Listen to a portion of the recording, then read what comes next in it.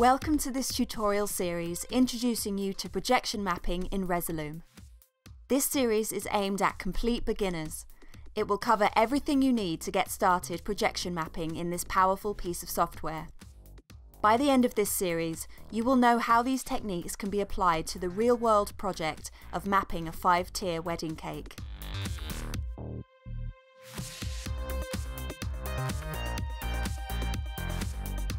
This video will be a very general introduction to Resolume software for beginners. I will explain the difference between compositions, layers and clips and take you round the user interface. For those who are brand new to this software, Resolume is aimed at VJs, that stands for video jockeys, audiovisual performers and video artists. Like a DJ's decks are a kind of instrument on which he or she can mix and manipulate music, Resolume is like an instrument that lets you do the same for video and all types of media and effects in an interactive, real-time way. One of the most powerful aspects of Resolume is the way in which it enables users to control how their visual media is outputted. This output might be to one big LED screen, or several screens, or to a projector or several projectors. Projection mapping describes the process of outputting your media to one or several projectors, but more specifically it involves using the software to move and distort that output by eye so that it looks like it conforms or sticks to the surfaces of a physical object. This object could be anything from a wall, to a sculpture, to a theatre set, to an entire building, or in our case, a cake. I will be using the demo version of Resolume Arena 6.1, which you can download for free from Resolume's website. I'd recommend following along with this tutorial if you can. A limiting feature of the demo is both a visual and an audio watermark, which interrupts your work periodically. It's a little annoying, but I hope it doesn't impact this tutorial too much. Click on the Resolume icon to open the application. What you will probably see is this example composition containing some sample clips. It can look daunting at first sight, but we'll quickly go around the interface and talk a little bit about the panels we're seeing and what they contain. But first, right off the bat, I'd highly recommend spending a moment to have a play around. Trigger some random clips in the deck by clicking their thumbnail and you'll see what happens. You can also trigger entire columns by clicking the column headings. You'll soon get a sense of what Resolume's all about. Click on the X's on the far left of each layer to eject the clips and stop them playing when you are done. First it's important to understand some basic principles about how a Resolume project is structured. Everything inside this window represents your composition. Your composition is your entire show, your whole setup, containing clips, effects, parameter settings and shortcuts, everything. Because it takes a while to load up a composition, it's not something you want to be doing multiple times during a show. Instead, you can work from a master composition and organize your clips into different decks, which are accessible via these tabs. This enables you to sort clips by theme or function and keep them separate from other decks whilst remaining accessible at the click of a button.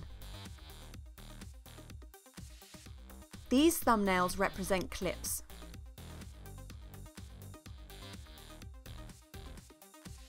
A clip is what Resolume calls any media file, not just a video. A clip can also be media like a still image or an audio file. Each of these rows is a different layer. If your entire composition could be likened to a painting on canvas, then the layers are the coats of paint.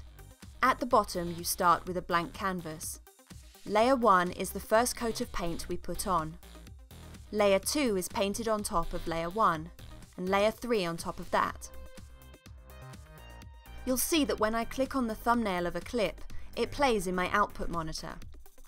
This shows me what is being outputted for all my audience to see.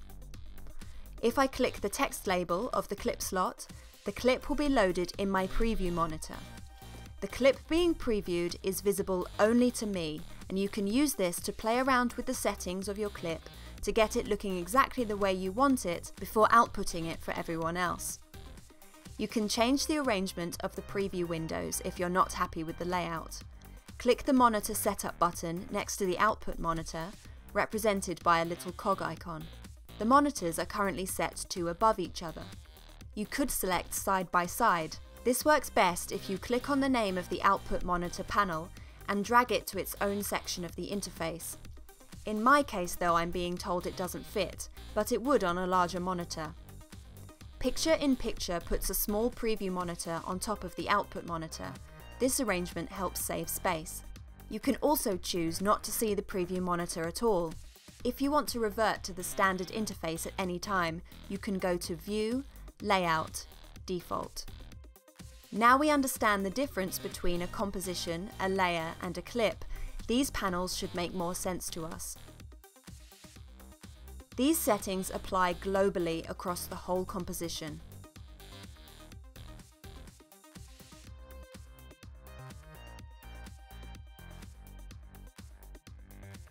If at any time you want to revert a slider back to its default, right click on it and it will reset.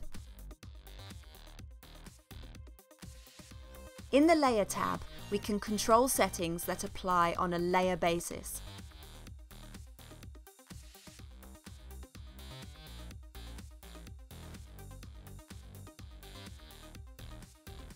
I'll create a new clip using one of the free sources that comes packaged with Resolume. This will help us see the changes we make to layer 2 more easily. Make sure layer 2 is selected and change some parameters.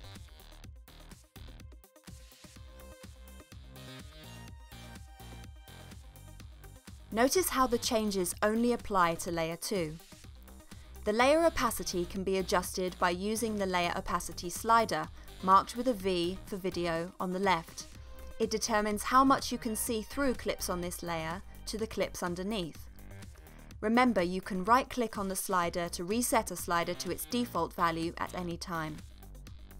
By default, layer 1 is set to 100%, but all other layers are set to 50%. Use the A slider to fade the audio in and out. Use M to fade both video and audio. The B button bypasses the layer from the mix and prevents it being displayed. S solos the layer and makes it the only one visible in the mix. Each layer has a blend mode.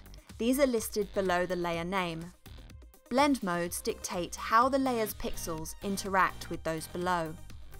To go back to the analogy of painting on canvas, blend modes are like painting with wet paint and each blend mode represents a different way of mixing the paints together for different looks. By default, the layers are set to the Add Blend mode. This means pixel values are added on top of the ones below it. I won't go over all the blend modes here.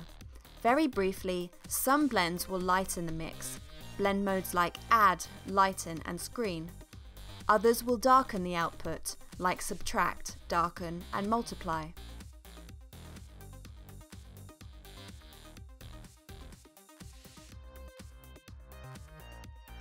Multiply lets you use a layer to selectively block out parts of the layer below. Where layer 2 has white pixels, layer 1 will show through. Where layer 2 has dark pixels, layer 1 will not show through.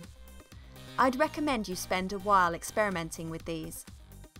In the Clip Properties panel, the settings we change only affect that clip. Let's Alt-drag on the text label of the clip slot to duplicate it and drag it to another slot. If we change the scale of the circle in its clip properties, notice how the other circle stays the same.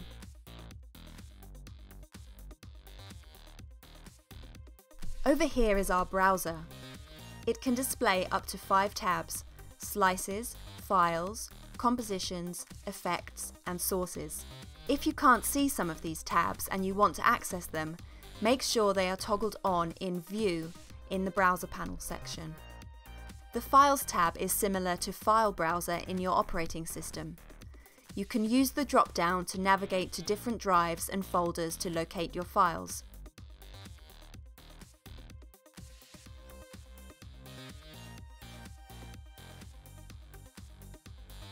Or search. You click the heart to add a location to your favourites to access it quickly in the future. It will be listed under Favourites in your Files drop-down menu. You can visually locate a clip using the Previews tab, which displays your files with additional file information, including a thumbnail. Simply drag from the browser to the empty clip slots. Dragging to a clip slot that is already occupied will make the new clip take the place of the old clip. You can rearrange clips by dragging name handles in this way.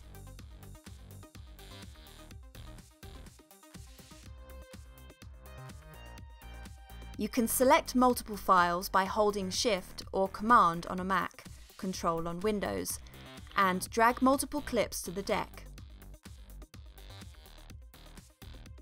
They will order themselves horizontally left to right. If you drop multiple clips over a column heading, they will arrange from bottommost to topmost.